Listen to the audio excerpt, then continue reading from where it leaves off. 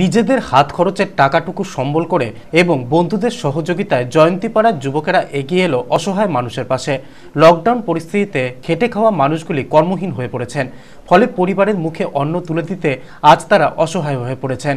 তাই আজ এলাকায় থাকা অসহায় পরিবারগুলির প্রায় দেড়শো জন বাচ্চার হাতে তারা ভাত, ডাল, ডিম সহ একটি করে প্যাকেট তুলে দেয়। তাদের এমন সেবামূলক কাজ আগামী দিনেও অব্যাহত থাকবে বলে জানায় তারা।